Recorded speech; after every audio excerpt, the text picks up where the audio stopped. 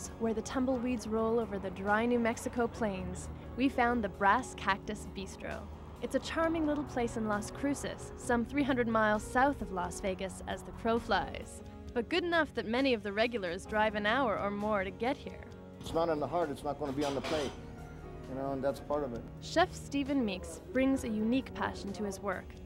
I think when you're traveling on the road, you know, you always have you always have ability to um, get good wines, local wines from a particular area, good local cheeses from an area, uh, and unique maybe vegetables that are maybe from that area, or like in uh, if I was traveling to Oregon or Washington, they have great salmon. You know, I'd stock up on salmon. You know, if uh, you're going into uh, you know um, Florida, of course you have to have oranges. You know, so you know, it's kind of unique. In this area, I would pack up if I was traveling through. I'd pack up on green and red chili. In Mesilla Valley, it's an extremely large agricultural area. So we're able to have a lot of the farmers grow specialty herbs, specialty vegetables, things like that for us as well that chefs in other big cities can't. I think if you're going to stock up on something, I would get some New Mexico wines. Uh, there's uh, Jory out of Sierra County. There's also La Viña Winery out of Chamberino, uh, Tex- uh, Chamberino, New Mexico, which is only like 15 minutes from here in Las Cruces. We do a, um, a halibut or a grilled tuna with an avocado grapefruit salsa, since grapefruits are available in West Texas, you know, and avocados are local here. We do a lot like a coconut shrimp we do with, uh, we put the Thailand coconut milk in the batter with the coconut, and um, we fry the shrimp that we serve it with a papaya, mango, and banana salsa with a Malaysian red dipping sauce. So you got kind of a sweet, sour characteristic with fresh fruit and also the uh, texture of the crusted shrimp. It's really nice on the plate. Mmm.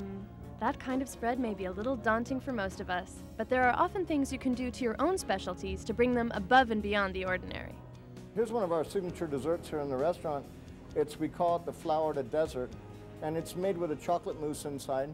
It's made with fresh local strawberries and an English custard sauce.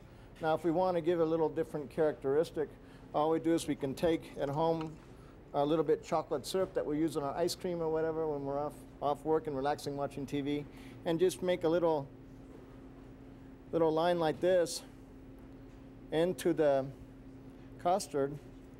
And then if we just take a small little knife and just run it through, it gives it a whole different characteristic and design that kind of adds a little avant-garde look to it and that people kind of when they look at this say wow you know that's really terrific you know? And that, so it's kind of and they, they feel it's all of a sudden it went from bland to something something really unique again. We'll do a black bean soup and we'll do a puree of, of red pepper and kind of make a swirl with a little bit fresh whipped cream in it just to give a little little pizzazz to the soup you know? Just for a little color. People lead with the eyes first. For more tips from Stephen, check out our website where you'll find a feast for the eyes. It's a recipe for the chef's cinnamon roasted pork medallions.